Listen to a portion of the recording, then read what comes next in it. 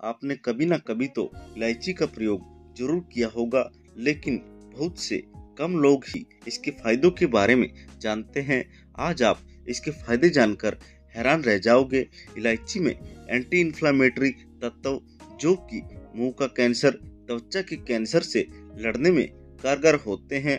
बढ़ते हुए वज़न और मोटापे से अगर आप परेशान रहते हैं तो ऐसे में आप अपनी डाइट में इलायची को ज़रूर शामिल करें।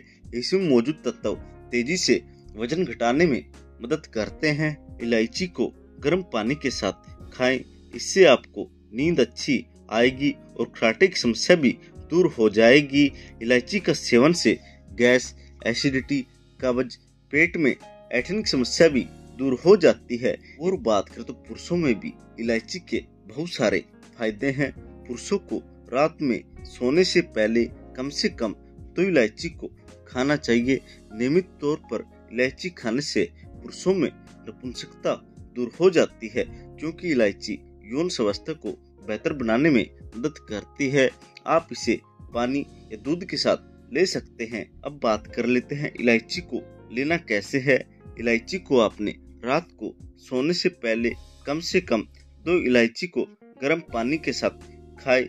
इससे आपको नींद बेहतर आएगी और खराटे की समस्या भी दूर हो जाएगी। अगर आप माउथ फ्रेशर के रूप में यूज़ करते हैं तो आप इस इलायची को सीधे ही चबा कर खा सकते हैं। और बात कर तो डिश या सब्ज़ी बनाते समय, उसमें इसके दाने डालकर भी आप इसका सेवन कर सकते हैं।